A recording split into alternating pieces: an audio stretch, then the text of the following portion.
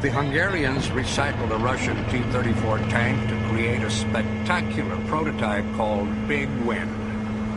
They took off the gun turret and replaced it with jet engines from MiG-21 fighter planes. Water is injected into the jet stream. Then they just open the throttles and blow the fire out.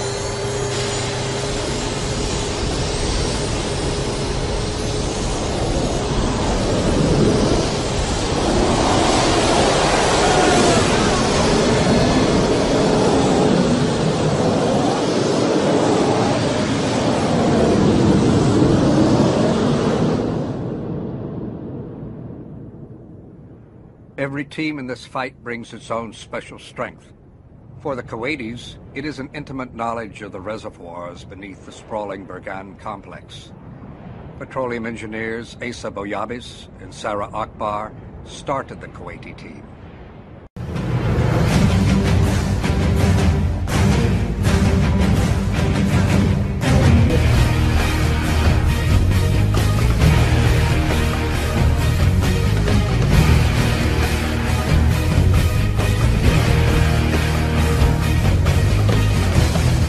Az eszköz, ami itt van mellettünk, ez a úgynevezett Big Wind, egy, turbooltó hajtómű, ami tulajdonképpen egy harckocsi alvázra szerelt MiG-21-es hajtóműpár, és ennek a hajtóműnek az üzemeltetésével tudjuk eloltani a, a tüzeket, mégpedig olyan módon, hogy a kipufogó gázát használjuk fel ebből a célból, ami oxigénszegény környezetet biztosít, és hogy a hűtőhatást azt javítsuk ezeken a fúvókákon keresztül a kipufogó gázsugárba vizet tudunk szivattyúzni.